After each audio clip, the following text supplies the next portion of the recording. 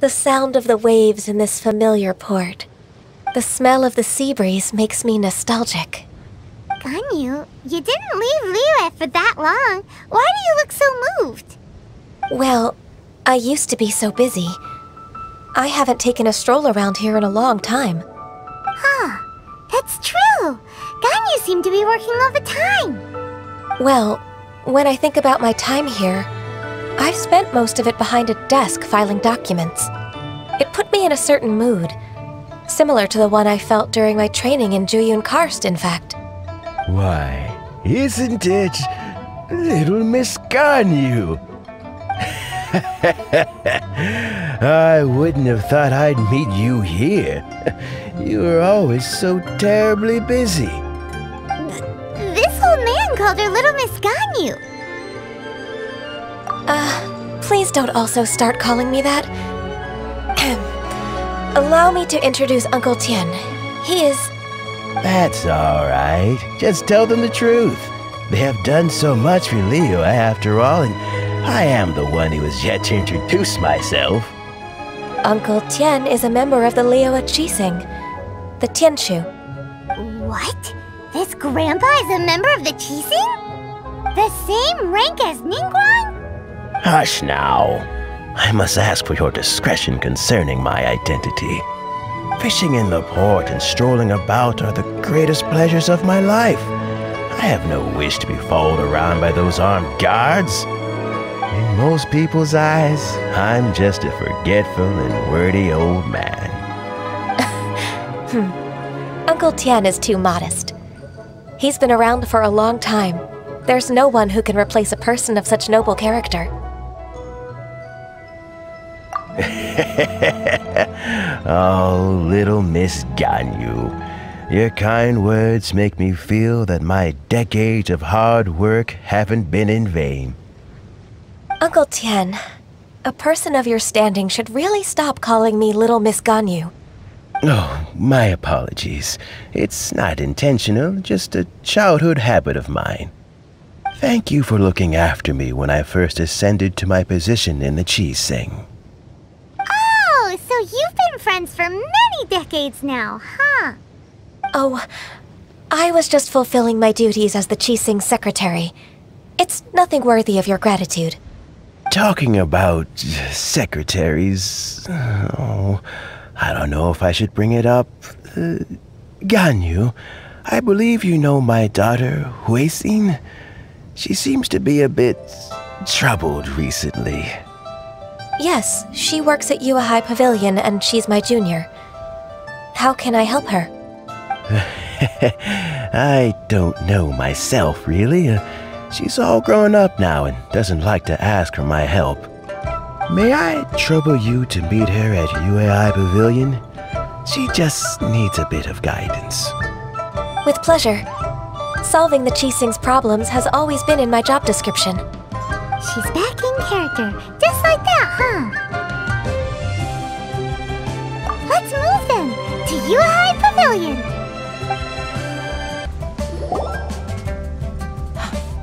Huh, Miss Ganyu. It's been too long.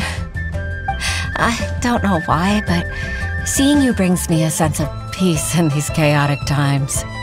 Indeed, it has been a while, Huixin. I'm flattered, but aren't you exaggerating a little? I heard that you've encountered some problems and came to see if I could be of some help. My father asked you to come, didn't he? Abusing his status as a member of the Qixing to trouble you.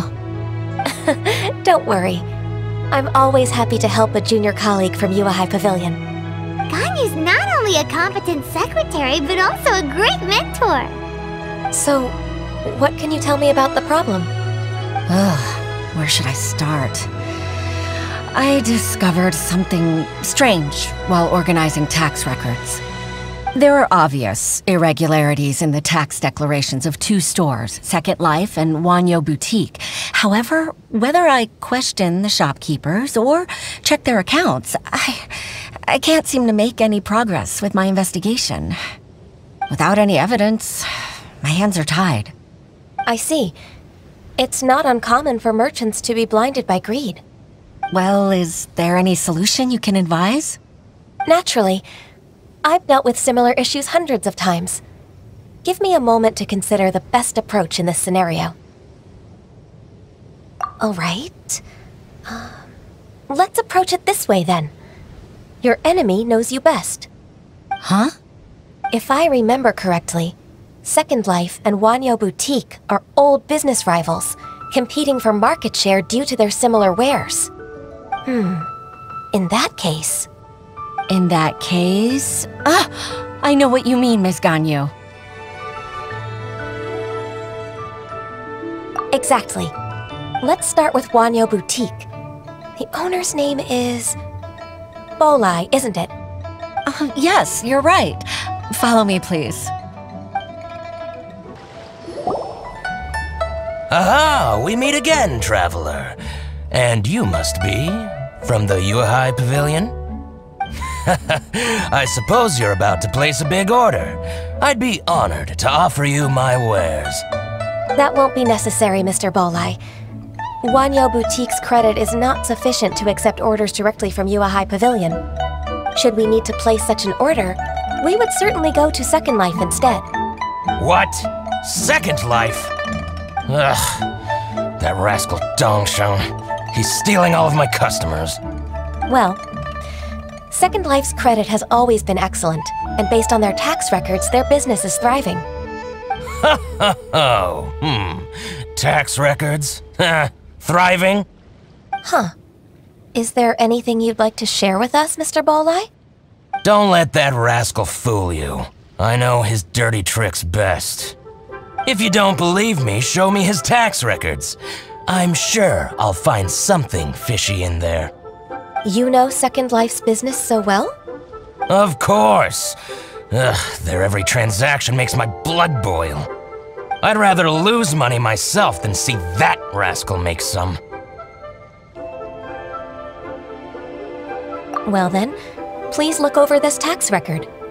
We'll review Second Life's credit based on your observations. Oh, of course. I'll read very, very carefully. Line by line and word by word.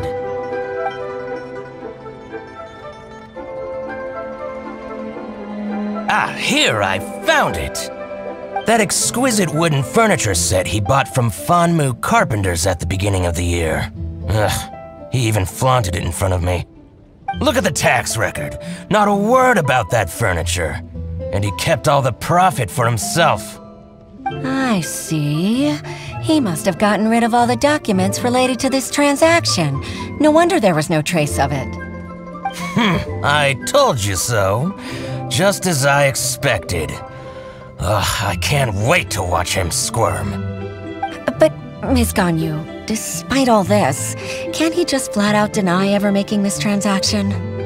He might have destroyed all the evidence, but I believe the supplier, Fanmu Carpenters, might still have some proof of it. Aha, you're right. Master Lu from Fanmu Carpenters must still have the invoice. He wouldn't be swayed by the likes of Dongsheng. I hope so. Let's go to Fanmu Carpenters. It should be near Qingce Village. Thank you for shining a light on this case, Mr. Bolai. Oh, please, please, that's nothing. I just hope you won't be lenient with him once you find the evidence. That's the best way to show your gratitude. I'm afraid I can't go to Qingce Village. It's all right, Huixin. You can stay in Liyue Harbor and finish your work. Leave the rest to us. Ah, that's so considerate of you. Still, I'm sorry to trouble you like that.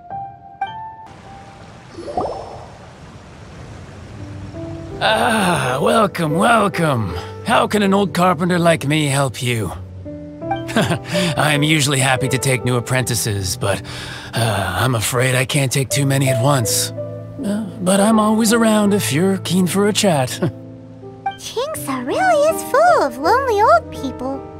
hey, I heard that, Flying One. Uh, Paimon, sorry. Master Lu, we've just come to see you and ask you some questions. Ah, don't worry, I know. You're from the Yuehai Pavilion, right? Why would the Qixing care about an old man like me? Well, whatever. You said that you want to ask me something. Ask away then. You're very direct, Master Lu. I will be plain. We're looking for proof that Dongsheng from Second Life has been evading taxation. Dongsheng bought some furniture from you at the beginning of the year. Do you still have the invoice or any other record of that transaction? Oh, it's about Second Life. It was a big order. Hmm. How could I forget? Sure enough, Mr. Bolai was right. Could we perhaps borrow that invoice? We won't have any evidence to bring against Dongsheng otherwise. Uh, of course you can. But I'm not so sprightly anymore. Uh, what's that supposed to mean? I only do my woodwork and display finished wares here at Fanmu Carpenters. As for old documents and such, I keep them all in a warehouse west of here. But some troublemakers have recently moved there, invading my warehouse. I tried to drive them away, but they just wouldn't leave. Since you need that invoice anyway, it may be best to get it from the warehouse yourself. And while you're at it, you can teach those louts a lesson. So that's what happened. I see. I'll leave you to it then. I need to get back to work.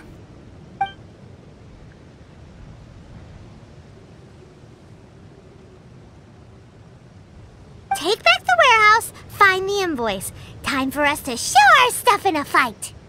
Wait, I think I saw one of those troublemakers. Ah, over there. Oh, Paimon sees them too. it's one of the Fatui. They must be plotting something against Liyue Harbor.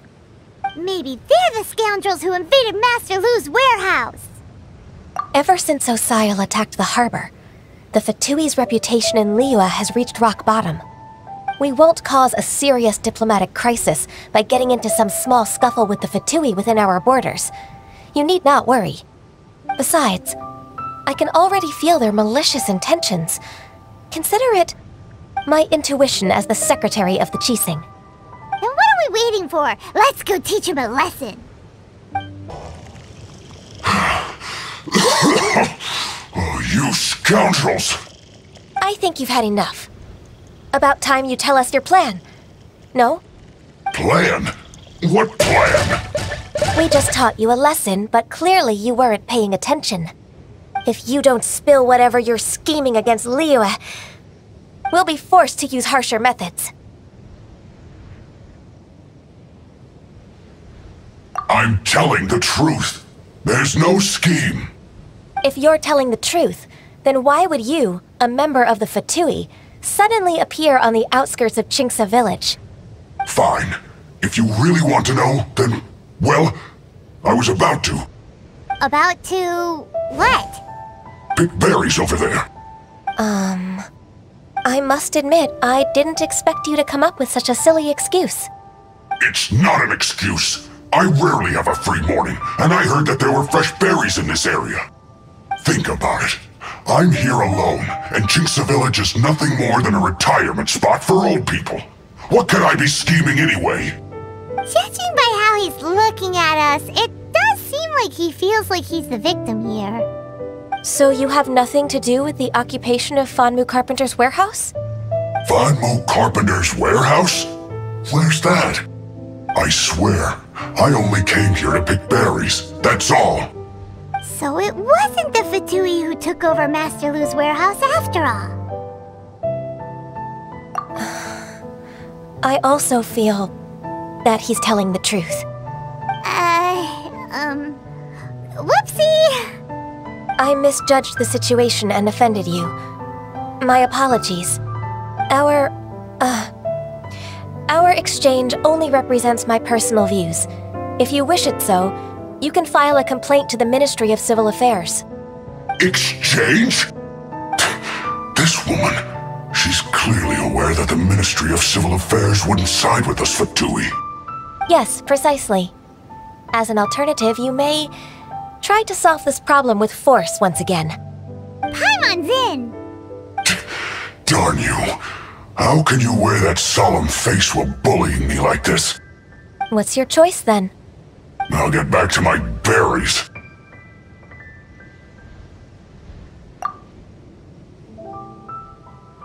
What a bittersweet ending. I made a laughingstock out of myself. I might have spent too much time away from work. My intuition is not as accurate as it used to be. No worries. It's always nice to teach the Fatui a lesson. Let's keep moving towards Master Lu's warehouse. Our goal is to get the invoice, after all. Ah, Ms. Ganyu, you're back. I hope it wasn't too much trouble rushing about like that. I promise to help you and I'll keep my word. Nothing to worry about. Look, it's the invoice for the transaction between Second Life and Fanmu Carpenters. We've brought it back. Oh, thank you so much. Now we can solve this problem. Agreed. How about we go to Second Life and have a nice chat with the owner? Isn't it Huixin from the Yuehai Pavilion? I remember you. I told you that all of my transactions are included in the records. My tax declarations are scrupulous as well. I do hope that my business won't be affected by any groundless accusations. Groundless accusations? Mr. Dongsheng, you seem very sure of yourself. But I sincerely advise that you cease this behavior immediately. It is liable to affect the fine you'll need to pay in the end. Uh, no. No. I'm an honest merchant. I would never get involved with any fraudulent sources of profit. Haven't I made myself clear? Mr. Dongsheng, you've already been proven guilty of tax evasion. I just came here to see if you'd confess. What? P proven guilty?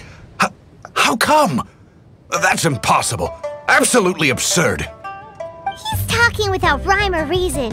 Must be crumbling under Ganyu's pressure. Time for the finishing blow!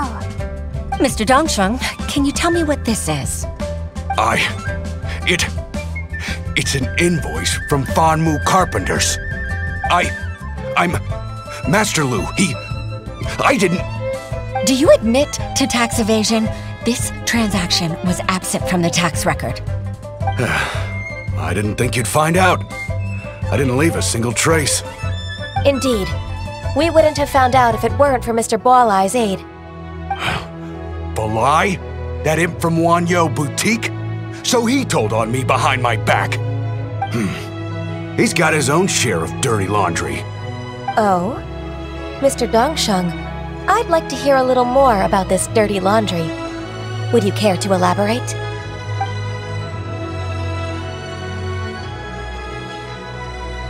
I don't think you'll need my guidance for what comes next. yes, thank you, Ms. Ganyu. I can take it from here. That's good. I must say, you're truly impressive, Ms. Ganyu. Your enemy knows you best. To think, you came up with this plan and executed it so masterfully. it's actually one of your father's, the Tianshu's, old tricks. I just took some inspiration from it. M uh, my father? Pitting your opponent against their enemies and watching them drag each other down from an advantageous position, that's how Uncle Tian managed to keep his position in the Qixing secure for so many years. I figured that as Uncle Tian's daughter, you'd naturally grasp your father's strategies. So, I decided to use one of your father's tricks and play it out for you to see. I can see it now. Clearly, I still have a lot to learn about my father. I'm really grateful, Ms. Ganyu. You're the kindest mentor I've ever had. Thank you. Ganyu solved both Huixin's work and family problems. Two birds with one stone. Oh, you've helped me so much. You must... You must allow me to repay your kindness. Ah, uh, that's not necessary. No need to be so serious. It was nothing, really. Then let me treat you to a meal. Hm? The Traveler and Paimon are invited as well. I appreciate your help. All right, come on, Ganyu. Just say yes. Let's eat. Oh, come on. It's just a meal. If it's just a meal, there's no reason for me to decline. It'll be my pleasure, Huixin. Actually, I've already booked Xinyue Kiosk. I need a moment to prepare everything first. Let's meet there in a while. Hmm. All right. We dare not refuse such generosity.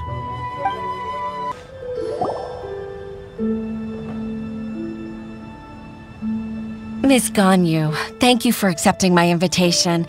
And as for the two of you, your presence is also much appreciated. Sure. That's so kind of you, Huixin. You went to great lengths to organize this. Truth be told, apart from thanking you for all the help, there's something I'd like to tell you. Oh? If there's anything I can help you with, just tell me straight away. No need to hesitate. Oh, uh, no, no, I, I, don't really need help. Uh, could you just listen for a bit? With pleasure. uh, when I was a little girl, my father used to tell me many stories about you, Miss Ganyu. Even though I have the utmost respect for my father, I always admired how gentle and reliable you are. I've only decided to join the Yuehai Pavilion staff because I've always looked up to you. I didn't know that you think so highly of me. However, in reality, working at the Yuehai Pavilion turned out to be an arduous task. I can't compare myself to such an outstanding secretary like you. I often doubt myself as a result. I disagree. You're a great secretary in your own right. Thank you. Over the years, I became a mother, too. So Uncle Tian is a grandpa! Influenced by my youthful ideals, she followed my footsteps and came to be a secretary at the Yuehai Pavilion too. At first, I was worried about her. It's not an easy job, after all. To tell the truth, I'm still unsure if she's capable enough. But after all that happened this time, I've made up my mind to support her choice. So, what made you change your mind? The fact that she'll have you, Ms. Ganyu, as her senior colleague. You'll help her, gentle as always, and tell her your mom used to do it like that. It'd be such a beautiful moment. If it's not too much to ask for, she might still need your guidance in 20 plus years, too. Huixin, I... I never thought that I meant so much to you. Just like when you showed me my father's trick. Having you as their witness makes people feel at ease. Witness? It's true that I've witnessed thousands of years of Liyue Harbor's history. All the changes it's gone through, the stories of its people. But I've always regarded it as nothing more than the source of my loneliness. Huixin, you don't know how important those words are to me. You've made me realize that I share another connection with the people of Liyue Harbor. Apart from my contract with Rex Lapis, they rely on me, accept me, and long for me to bear witness to their stories. Oh, of course. You're irreplaceable to us. That's right. That's why I can't disappoint you. Hooray! Ganyu's finally cheered up! Even if I've really been supplanted, I wish to fight for my place. I won't let you down. I'm going to fulfill my contract and keep working as the Qixing secretary. Regardless, I'll go back and see for myself. I'm afraid that it might have all become a mess during my absence. No time to waste. Let's get back to work. Good luck, Miss Ganyu. Uh, we're leaving already? Paimon's